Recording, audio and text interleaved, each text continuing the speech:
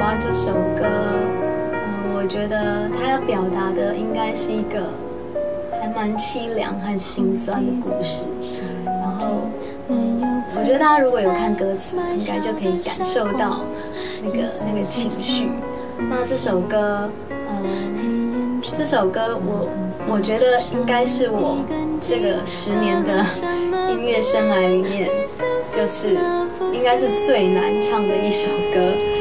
然后它难的程度超越了《Fighting Neverland》，超越了《樱花雪》，超越了《气球》等等。呃，这首歌它的难呢，除了因为它的低音跟高音的 range 非常宽之外，它的那个。我写的旋律线，它也是没有那么符合人体工学了，也没有那么好唱。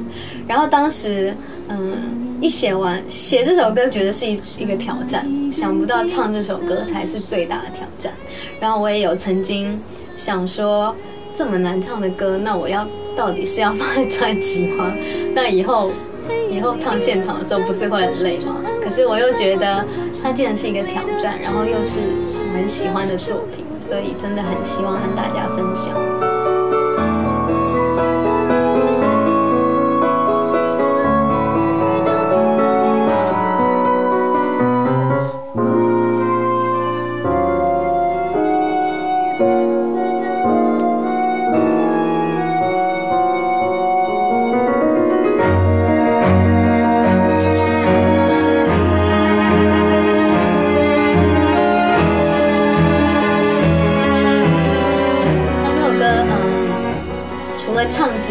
编曲听起来虽然很简单，乐器就只有钢琴和弦乐三重奏，可是其实它却是一首非常复杂的、非常复杂的歌，因为它的呃，它一直在换 tempo。那当一首歌没有一个固定 tempo 的时候，对于编曲编曲人来讲，他那是真的是非常麻烦的事情。所以这一次呢，也很感谢 Josh 晨曦，他帮我编了一首听起来很简单，但是其实非常非常复杂。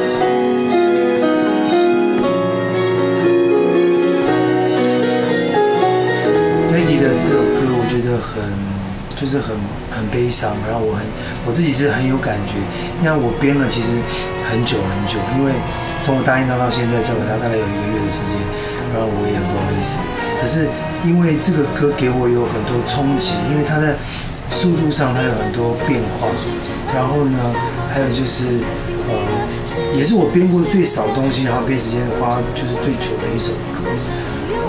它的主题是一个感觉是一个很悲伤的一个呃的一个背景，然后又要有这个好像在戏剧里面，好像舞台剧里面的那种配乐的形式。那因为我自己很喜欢古典的东西，所以我就加了一点古典。我就跟佩仪说：“哎，那这个间奏可不可以加一点？”那他也觉得不错，我们就就做。所以其实那今天到今天可以来家里跟我一起，最后 finalize 这个编曲。然后我很开心，终于可以交给他了。那就希望他这次专辑成功，然后我也帮，希望我也帮了他的忙。那希望在这首歌里面，大家也可以感受到我们想要传达的比较比较剧场的感觉，或者是比较电影电影的感觉。那个情绪是，嗯，那个起伏会比较大一点。然后，嗯，从前面的很安静到后面的很激昂。然后，这真的是一首我做了觉得非常辛苦的歌曲，然后希望大家都可以听听看。